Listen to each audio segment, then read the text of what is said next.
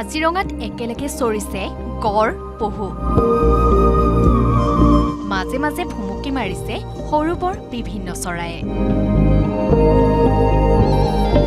কাজিৰঙা ৰাষ্ট্ৰীয় উদ্যানৰ দাঁতিকাষৰীয়া সাতত্ৰিছ নং ৰাষ্ট্ৰীয় ঘাইপথৰ কাষতে দেখা গৈছে এই নান্দনিক দৃশ্য। কাজিৰঙা ৰাষ্ট্ৰীয় উদ্যানৰ দাঁতিকাষৰীয়া কাঞ্চনজুৰি ভিউ পইণ্টত গড় পহু বনৰীয়া মহ আদি চাবলৈ ভিৰ কৰিছে পথচাৰীয়ে। প্ৰচণ্ড গৰমৰ পৰা ৰক্ষা পাবলৈ ৰাষ্ট্ৰীয় ঘাইপথৰ নিচেই দাঁতিতে আশ্ৰয় লৈছে বন্যজন্তুৱে। বানৰ পিছত পৰিষ্কাৰ হৈ পৰা ৰাষ্ট্ৰীয় উদ্যানখনৰ বিল জলাশয়ৰ লগতে নতুনকৈ গজালি ওলোৱা ঘাঁহ বন খোৱাৰ দৃশ্যই মন জোৰাইছে পথচাৰীসকলৰ। কাজিৰঙা ইয়াত গঁড় আৰু হৰিণাৰ মাজত যিটো সমন্বয়ৰ মাজত দেখিলোঁ ধুনীয়াকৈ চৰি আছে।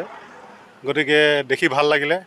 আৰু এই যিটো পৰিৱেশ সেই পৰিৱেশৰ জৰিয়তে যাত্ৰাপথত থকা মানুহক যথেষ্ট তেওঁলোকে আমোদ দিছে।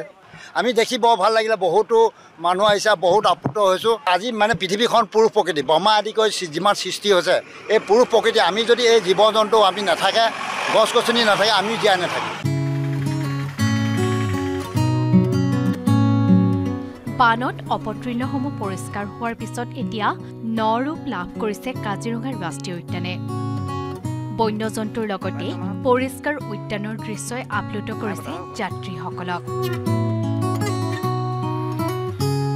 কাজিৰঙাৰ পৰা বিতুপন বৰাৰ report news eighteen Assam north east.